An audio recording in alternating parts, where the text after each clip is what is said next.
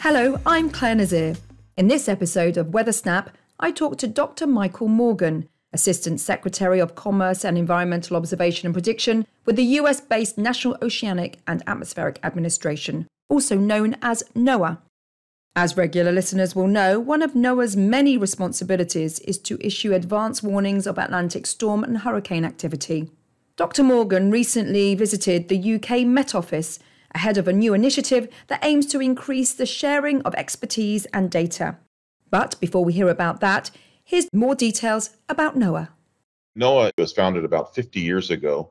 Its mission is to understand and predict changes in climate, weather, ocean, and coast. It also has a mission to share that knowledge and information with others and provide equitable and actionable environmental information to decision makers as well as the public.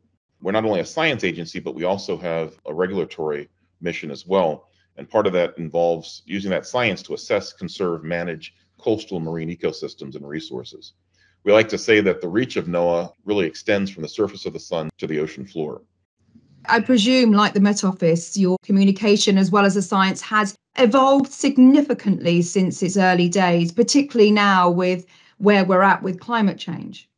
Yes, I mean the the evolution of this really comes about because of the wealth of the observations that we have, the science that we've done to track and with some measure of continuity, not only global temperatures, but also the development of our predictive capabilities to understand how future climate is going to evolve. That has been part of our message in sort of communicating that there's a reality in climate change. We have records on Mauna Loa of the CO2 record, which show the increase in CO2 we have a scientific integrity policy, which really mandates that we have to stick to the science. And I think having that scientific integrity builds a bond of trust that we have with folks that use our information. And that I think helps to ensure that our message is heard with clarity. How do you communicate the topic of climate change, particularly when we've had a summer like we've had not only in the US, but in Europe as well? Part of that communication really is knowing the audience that we are addressing. So it's important to communicate the implications of climate change in terms of what the audience is going to understand, more specifically communicating how each of our lives may be impacted due to extreme weather events. One of NOAA's priorities, one of the pillars of its priorities, is this notion of creating a climate ready nation.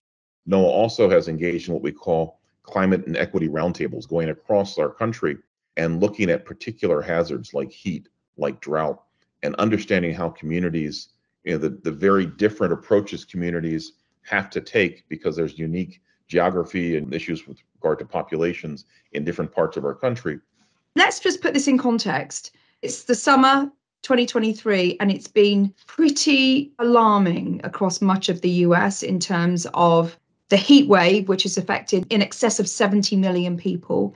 You had a huge amount of rain earlier on in the summer towards the northeast, again with flooding impacts and then more recently the, the fires in Hawaii.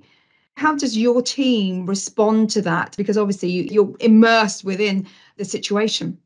We are really living in unprecedented times with the Earth experiencing its hottest July in about 174 years. Our global average temperature is well above average. And we're also seeing a sea ice coverage hitting record lows.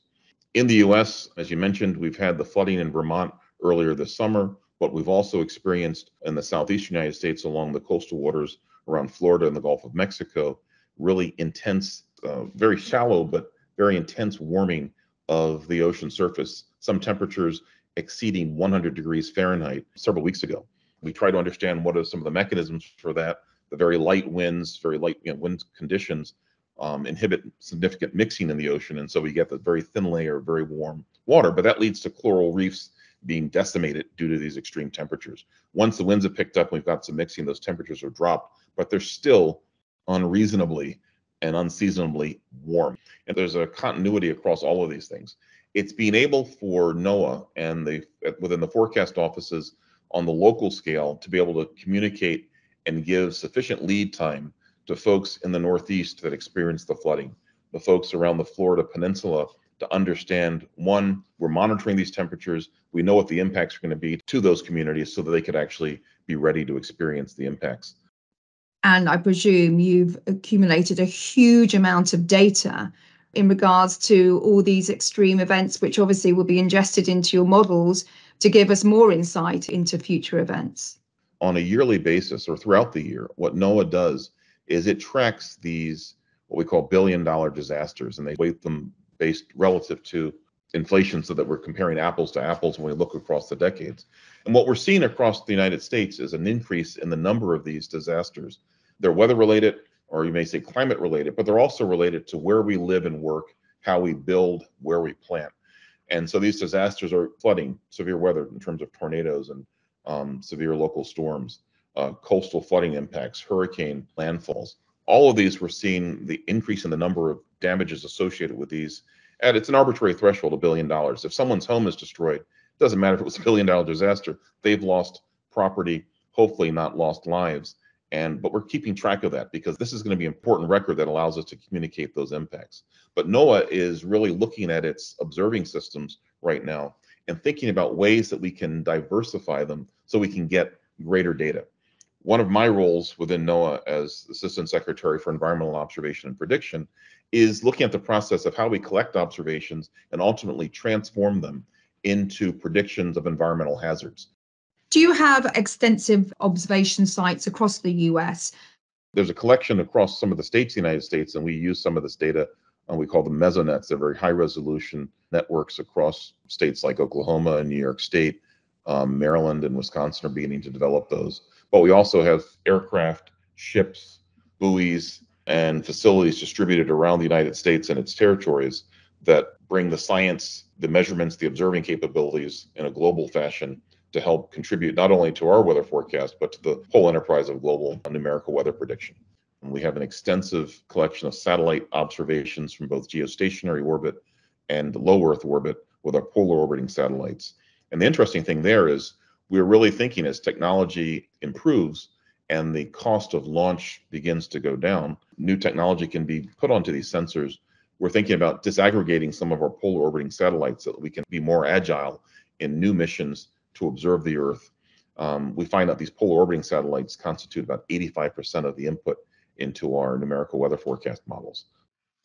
I mean, that is really just critical, isn't it? It's handling a huge amount of data. I know that we, you know, at the Met Office, we've been uh, working with machine learning and data science for a long time now, uh, but the, the computing capacity just keeps going up, which leads me very nicely on to the, the partnership which you forged with the UK Met Office, which is called the Transatlantic Data Science Academy. What can we learn the UK Met Office learn from you and then vice versa? What is it do you think that you excel at that we are really going to learn and and our, our our partnership will will add value that way? I think we have done a lot of work again in the impact based decision support services. That's within our weather service and we're also looking at that perhaps for our climate services. Um, maybe over time looking at our weather service offices being environmental information offices. So I think the work that we've done, as I mentioned before, with the social science community in understanding how to formulate messages which are most impactful is a place where the U.S. I think really leads in uh, the communication of, for- of our forecast. With respect to other technologies that we have, both at the Met Office and also at ECMWF, is really the growth of machine learning based physical model emulators, which now are really low cost to run after they've been adequately trained and can produce forecast at a quality that rivals our full physics models, maybe even exceeds them. And I think that's a place where we are rapidly beginning to put together a team ourselves at NOAA to really understand what those capabilities are. And we hope to share and learn with the Met Office how that process works. So this uh, initiative it has an academy associated with it where we're learning skill set from your team and vice versa what type of people do we attract? Obviously, I think it's changed very much since I became a meteorologist back in the early 90s. I think it's going to be the exploration and the exploitation, frankly, of what machine learning and AI can bring to us in terms of reducing the cost to generating a forecast. I come from an academic environment. I've been a professor at the University of Wisconsin Madison since 1995. I'm on leave for it while I'm in this position. And I've seen many generations of students come through that have been excited about the atmosphere, excited about severe weather events, things of that sort. But prior to leaving, I saw an increasing number beginning to look at data science as a, another option um, to put in their toolkit. And I think we're going to see a new generation of meteorologists that are equipped with that and really ready to both interrogate the atmosphere, but also project the atmosphere forward using these tools. And so I think that's going to be an exciting future. So, are you an optimist or a pessimist when it comes to climate change? I frankly think I can't afford to be a pessimist. I think we have to be optimistic about it. And I look at, again, coming from academic environment, seeing the students, their interest in their changing environment and understanding what can I do as a student? They're asking that question, what can they do to help serve their communities? They want to know how their communities are going to be impacted. They also want to know how they can help shape the future. And so I'm optimistic about it. I think the new um, innovations that are beginning to emerge across the sciences, I think are going to play a big role in our ability to confront these climate challenges. So solidly optimistic. Dr. Michael Morgan, it's been an absolute pleasure to talk to you. Thank you for your time. And we look forward to seeing how this new initiative between the NOAA and the UK Met Office evolves over the next few years. Great talking with you. Thank you.